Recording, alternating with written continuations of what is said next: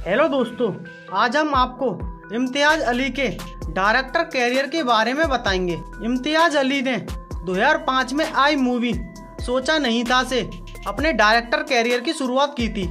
इस मूवी का बजट पाँच करोड़ रहा। भारत में कमाई चार करोड़ तिरानवे लाख हुई।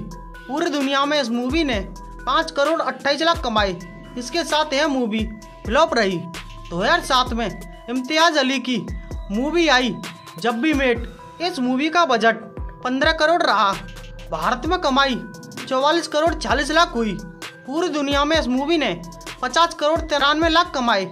इसके साथ यह मूवी हिट रही। 2009 में इम्तियाज़ अली की मूवी आई लव आजकल।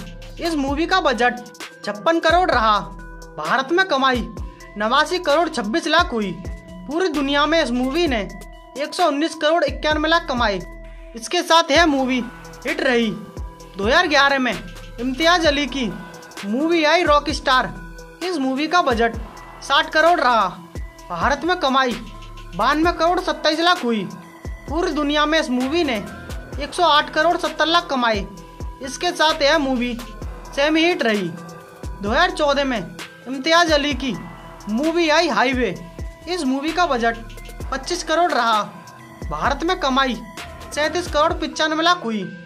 पूरी दुनिया में इस मूवी ने सैतालीस करोड़ सत्तर लाख कमाए इसके साथ यह मूवी बिलो एवरेज रही। 2015 में इम्तियाज़ अली की मूवी आई तमाशा।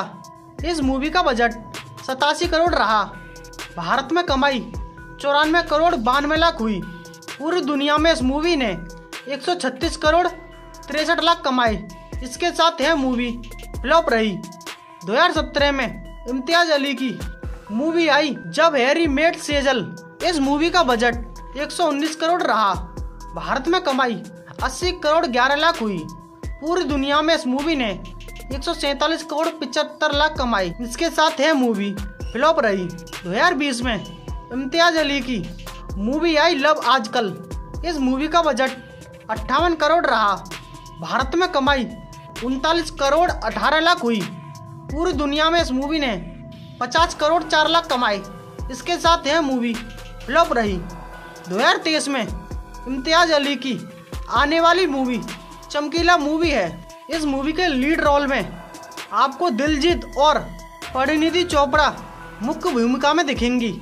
यह मूवी आपको 2023 के एंड में देखने को मिलेगी। दोस्तों, आपको इम्तियाज़ अली की कौन सी मूवी पसंद है? कमेंट में बताएँ और चैनल को सब्सक्राइब ज़रूर करें। प्लीज़ दोस्तों थैंक यू